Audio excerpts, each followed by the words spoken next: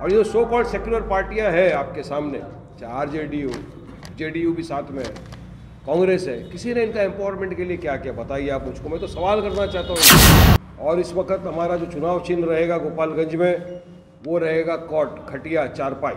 मैं हूँ अयाज, अभी मैं मौजूद हूँ ए आई एम आई एम के कार्यालय पर। यहाँ पर ए आई एम आई एम के राष्ट्रीय प्रवक्ता वारिस पठान जी पहुँचे हुए हैं। प्रेस वार्ता कर रहे हैं, उन्होंने क्या कुछ कहा, वो सारी बातें हम आपको सुनाएँगे। उन्होंने कहा कि राजद की पार्टी जो है, दोहरी नीति अपनाती है, यानी माइनॉरिटीज़ के लिए वो कुछ नहीं करती है, ऐसे में शहाबुद्दीन को लेकर भी उन्होंने क्या कुछ कहा, बड़ी बातें कहीं, वो सारी बातें हम आपको सुनाते हैं। आइए देखिए कि वारिस पठान ने क्या कुछ प्रेस वार्ता के दौरान कहा है। देखिए, गोपालगंज बिहार में चुनाव आया है। जिस तरह मुख्तलिफ़ सियासत पार्टी ने अपने अपने उम्मीदवार को खड़ा किया यहाँ से इस मरतबा मजलिस इत्यादुलमसलिमिन ने भी अब्दुल सलाम साहब, जो हमारे कैंडिडेट गोपालगंज के रहेंगे, लड़ रहे हैं चुनाव इन और उनको यकीन है कि गोपालगंज की आवाम हमको मोहब्बत से नवाजेगी, दुआओं से नवाजेगी, अपने वोटों से नवाजेगी। और ये चुनाव हम लड़ रहे हैं बैरिस्टर असदुद्दीन ओवैसी साहब की क़्यादत में। अख्तर साहब, जो हमारे बिहार अध्यक्ष हैं उनके समर्थन से आदिल हसन साहब, सरफराज इंजीनियर साहब, सलीम बेग साहब, हमारी पूरी टीम जो यहाँ पर मौजूद है, ये सब मिलकर लड़ रहे हैं चुनाव। और इस वक्त हमारा जो चुनाव चिन्ह रहेगा गोपालगंज में, वो रहेगा कॉट खटिया, चारपाई। क्योंकि कुछ टेक्निकल ग्लिच की वजह से हमको पतंग का चुनाव चिन्ह नहीं मिला। अब डेमोक्रेसी है, चुनाव लड़ने का सबको अधिकार है, इसी तरह मजलिस इत्यादुलमसलिमिन को भी अधिकार है। और हम लोग प्रचार कर रहे हैं। कल आखिरी दिन है प्रचार का।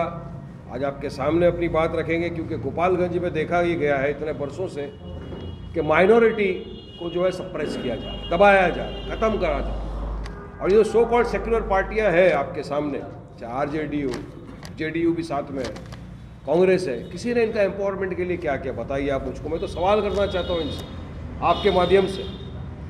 सीएम थे यहाँ के सबसे फ़र्स्ट मगर ये जो सो कॉल्ड सेक्युलर लोग हैं, इनका भी पर्दाफाश हो गया आपके सामने है तमाम इनका। हम चुनाव लड़ेंगे। हम भी चाहते हैं कि हमारे माइनॉरिटी जो है, हमारे दलित भाई, हमारे मुसलमान भाई, मजलूम भाई, सब मिलकर एक हो।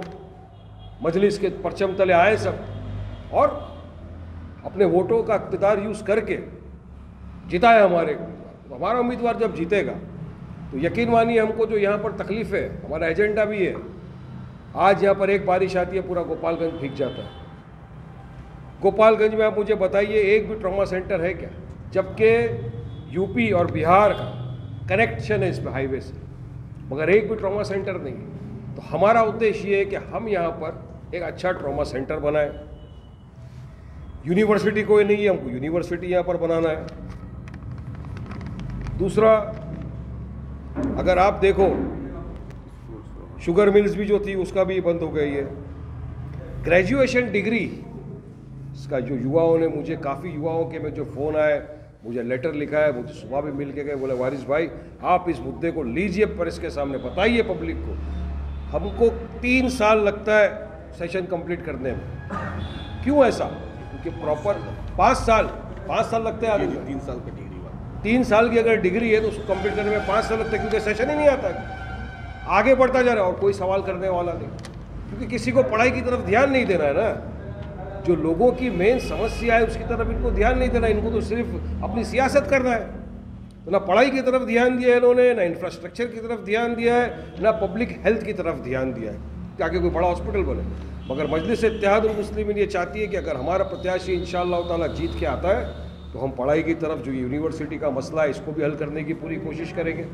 हम जो तेलंगाना में स्कूल का हमारा मॉडल है, आप अगर आके देखेंगे ओबीसी स्कूल ऑफ़ एक्सलेंस जितनी सारी स्कूल है, सोलह हज़ार बच्चे हमारे यहाँ पर तेलंगाना में फ्री में पढ़ते हैं। और टॉप क्लास स्कूल जिसमें सिर्फ़ मुसलमान ही नहीं, हमारे सिख भाई के क्रिश्चियन भाई के हिंदू भाई के, दलित भाई के, तमाम वर्ग के लोग वहाँ पर एजुकेशन हासिल करते हैं। लेट अब्दुल गफ़ा गफूर साहब माइनॉरिटी से उनके बाद से मुझे बताइए यहाँ पर माइनॉरिटी का क्या रिप्रेजेंटेशन रहा? अरे उनकी ही फैमिली के उनके पोतों को टिकट नहीं दिया गया यहाँ से क्यों? माइनॉरिटी नहीं देना है। बात नंबर दो, सिवान। यहाँ से 25 किलोमीटर की दूरी पर है। शाहबुद्दीन साहब गद्दावर नेता, जो एक, दो टर्म एमएलए रह चुके, पाँच मरतबा एमपी रह चुके, सिवान से, आरजेडी से लड़े। उनका इंतकाल हो गया कोरोना काल में।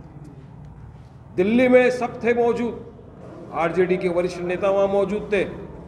लेकिन यकीन मानिए, एक भी वाहिद आदमी ना उनके जनाजे में गया, ना उनके घर पे यादत के लिए गया, ना उनकी फैमिली से संपर्क किया।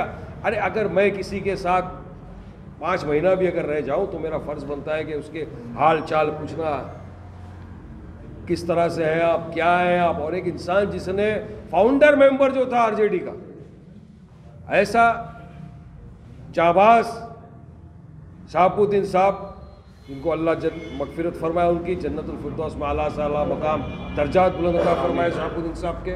हम ये दुआ करते हैं। उनको साइड लाइन कर दिया कुछ नहीं उनके। अब्दुल गफूर साहब के नाम पे मुझे पता ही है ना, एक सीएम रह चुके थे यहाँ पे। आज कोई यूनिवर्सिटी है उनके नाम पे, कोई रास्ता है उनके नाम पे, कोई एयरपोर्ट ट्रेन स्टेशन कुछ नहीं है इनके नाम पे। माइनॉरिटी के खिलाफ पूरी तरह से ये सरकारों ने युद्ध छेड़ दिया।